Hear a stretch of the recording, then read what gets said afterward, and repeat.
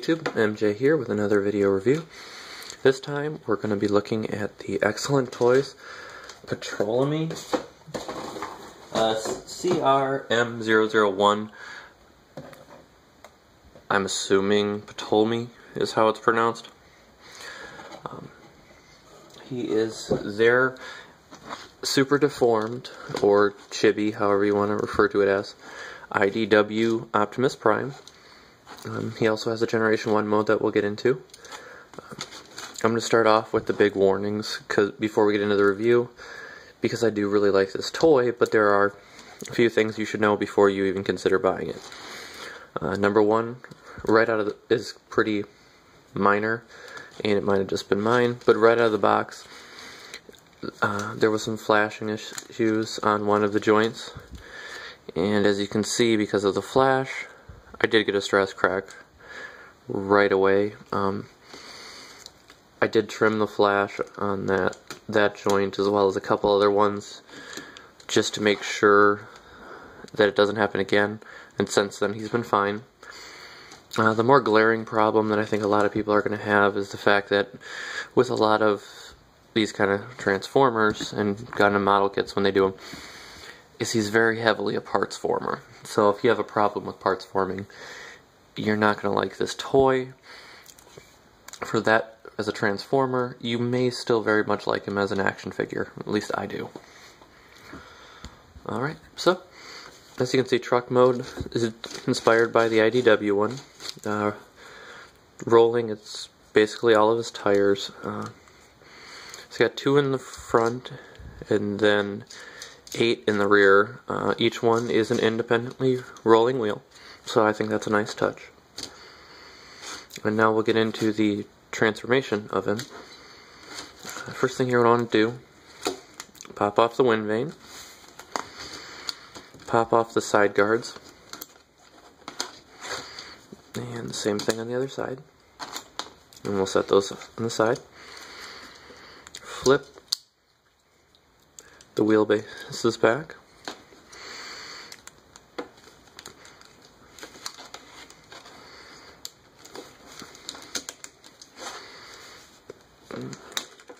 Slide off the entire front cab section.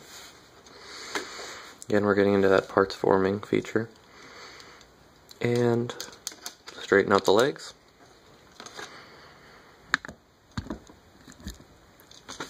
Rotate them around 180 degrees. Rotate the feet around and flip them up and then flip up the kneecaps. Same thing on the other side. Come around to the back, slide the arm forward and then rotate, and then back, and then rotate it out and position it as an arm. Same thing on the other side.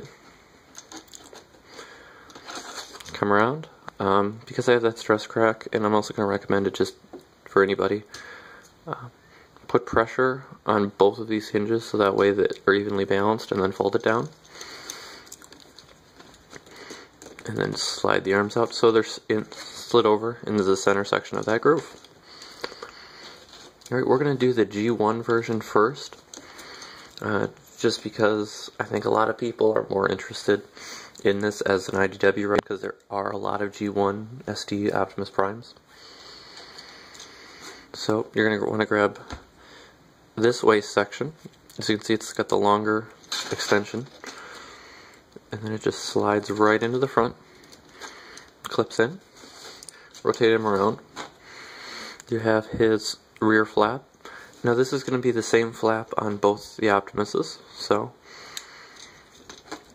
slide it in and it'll close out that section. Uh, one of the cooler locking mechanisms, take the hand. As you can see, it's got a key shape. So what you're going to do, have the hand rotate facing behind the arm and slide it into the keyhole rotate it around, which will lock it in place, and then pull out on the hand, which will extend the arm completely into its actual positioning. Do the same thing on the other side.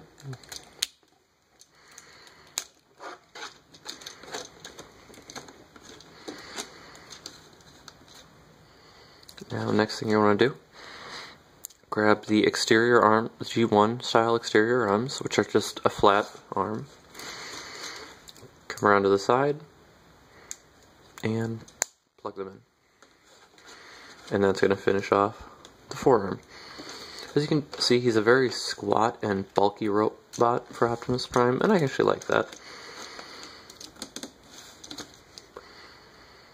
Next thing, zoom out a little bit. You're going to want to grab the G1 style shoulder pads. Now if you look inside, you're going to see a little blackish gray piece. That's going to be your locking mechanism. Now, what I did with mine, uh, when I got it, this was having trouble locking in.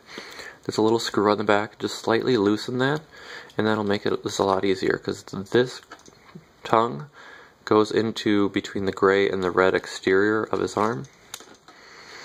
And that's how you get his arm to lock in. Make sure his arms are fully extended outward. And as you can see, even after I loosened it, it's still a very tight slide joint.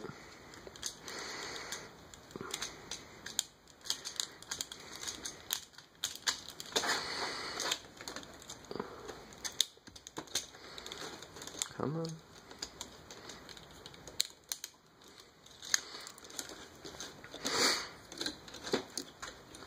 Let's see if the other side works a little smoother.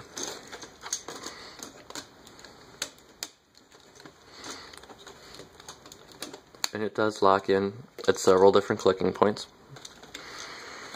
So yeah, I must have loosened the one side a lot more than the other. There we go. Now the next part is going to be another one of those specific items. You have two neck pieces. You have this one, and you have this one. Uh, this one's for the Generation 1 style look.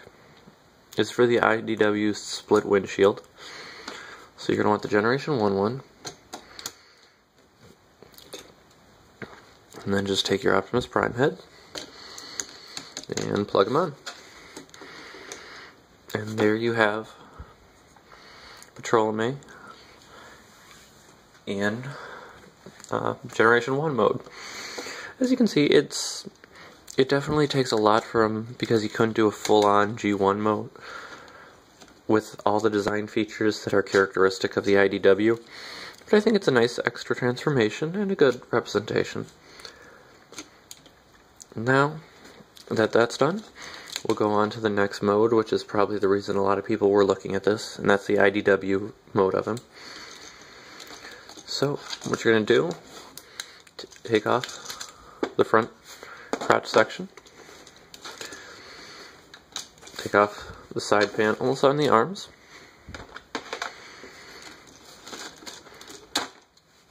Take off the G1 shoulder pads. And then you have basically a naked prime. And we'll take off the head. So we'll start off with the head. In this case, what we're going to do, wiggle out the neck piece set that aside. Grab the forehead crest and slide it out. Again, all the joints are very tight and it's nice. And then pull out the faceplate and see. We'll zoom in on that. We have the G1 style faceplate versus the IDW, which is a much more sharp and angular faceplate. So there's a little tongue on the back that just slides in and grooves into the face. Um, I recommend looking at it from the bottom because you're going to need to fin out, fan out that a little bit just to make sure it locks into place right. And then secure the head crest on. There you have the IDW head. Next thing, bring over Optimus Prime. Fan open his chest. Take the IDW neck piece and secure it in. And close the windows as much as they will close. And plug in the head. Next up, the crotch piece. Uh, nice thing about this one is it doesn't have the side skirts, so it's just a flap in the front, which is you're going to like because of when we get into articulation. For an SD style figure, he's got a lot of it. Come around behind. There's two little wind vanes, and you're just going to plug those into the back. Um, regarding these, uh, I did show it without them on in G1 mode because that's how they recommend it. Uh, what I actually do for mine is when I transform him, because the wind vane pretty much covers everything, I just kind of rotate them around so they flow with the wind vane, so that way you don't actually have to unplug them every time.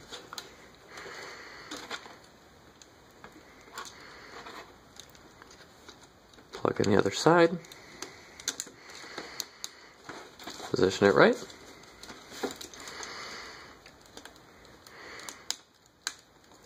Make sure my arms are locked into place on the forearm. Then you're going to grab, you took these off when you were originally transforming him. So when it's in vehicle mode, it's plugged into that peg. Robot mode, you're going to plug it into that peg. And just slide it on. And flip forward the little handguard.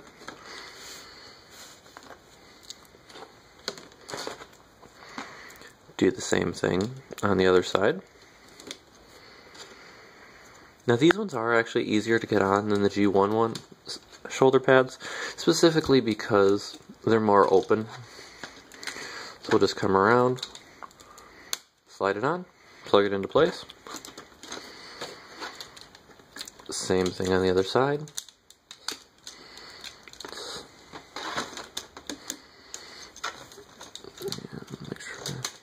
plug it into place. Now come down here, flip out the IDW style shins so you have that flare.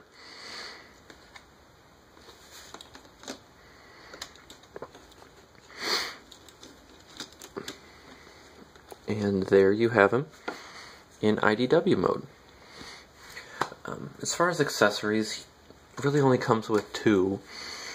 Uh, one of them is his gun, which does have a nice G1 style look while also being kind of have that deformed look.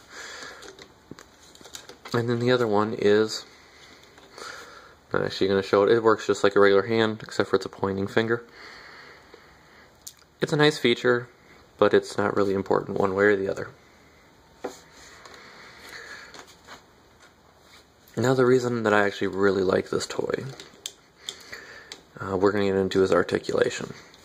Alright, head goes up and down, rotates 360 degrees, everything a head should do. Arms, because they extend out, you get, when you move the shoulder pads, you get an outward swivel, about that much, depending on the shoulder pad, maybe a little more, maybe a little less, also depending on how you position the arm more. Because if it hits that outer guard, course, rotates 360 degrees around. He has a full 360 degree waist. I'm going to actually pull out the crotch now to show off the hips, which are on a full ball joint.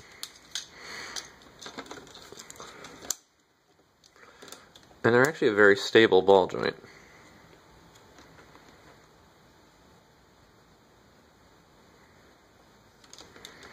Uh, the ankle joint I wish was a little stronger, but there we go. There. Balanced on one foot. In a very awkward position, but still fun. Right? It's got a rotation at the hip just below it. And bend at the knee. A little less than 90 degrees, but I'm kind of okay with that. Now, the joint that I'm most impressed with is the ankle joint. He has a very wide ankle joint tilt, full rotation at the ankle, bend at the toe because of transformation, but it's still bend. And then there's also a rotation at the toe in addition to the already extremely articulated ankles you can almost have Prime completely doing the splits with his, just with his ankle joints.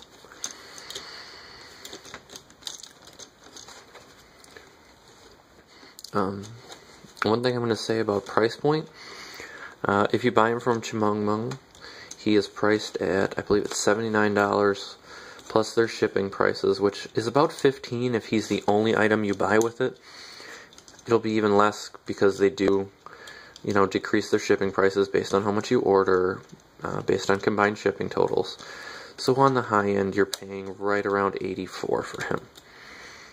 Um, I know that sounds like a lot for what amounts to an SD figure that does a lot of parts forming, but I do want to show a few size comparisons just for reference.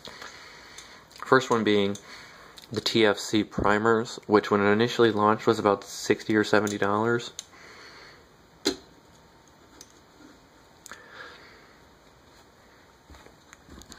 He is a very, fairly large figure. And we'll do another size comparison because I think it's just as important.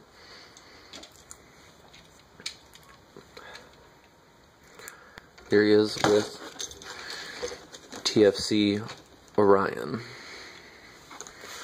Now they're both representations of the IDW, Optimus Prime. And what disturbs me is, based on the blocky appearance of Orion and everything, this guy actually looks more like the IDW design to me. Partially because of what you can all do with the, basically the parts forming stuff, Then this guy.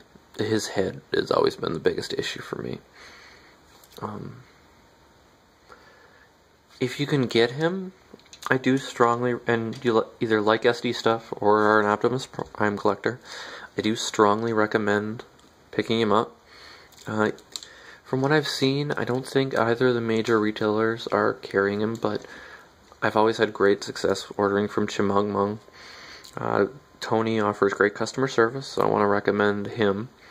Not, so there's one of your strong options, as well as eBay if for some reason he's sold out or you just don't want to order from outside the country. They do have a Soundwave coming out as their next release, so I will be reviewing him as soon as I can get my hands on one. And I will be looking at a couple other SD figures in the near future. So I want to thank everybody for tuning in, and I will see you soon.